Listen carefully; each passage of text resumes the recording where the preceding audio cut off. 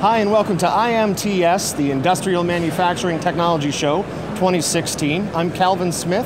I'm the business lead of IoT strategy at Dell EMC, which is now part of Dell Technologies. And I'm joined by John Kowal, Director of Business Development, B&R Industrial Automation, and we are co-chairs of the Smart Factory Task Group in the IIC, the Industrial Internet Consortium. So where do you see the connection between the two here at the show?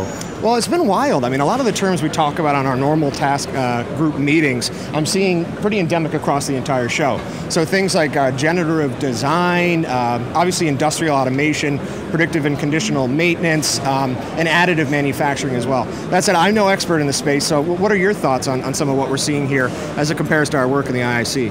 Well, and the reason that we have the Smart Factory Group is to make sure that these new technologies are based on standards so that the big data has good data to work with.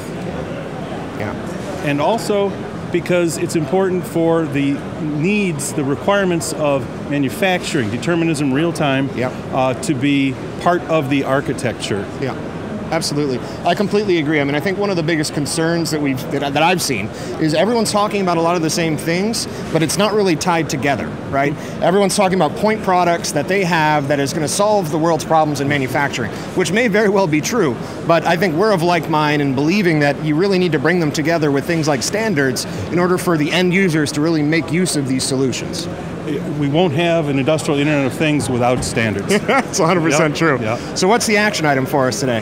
The action item is to join us in the Industrial Internet Consortium, Absolutely. then join the Smart Factory Group, and you can reach us at iiconsortium.org. Please do reach out if you have the time, energy, and ability to join us.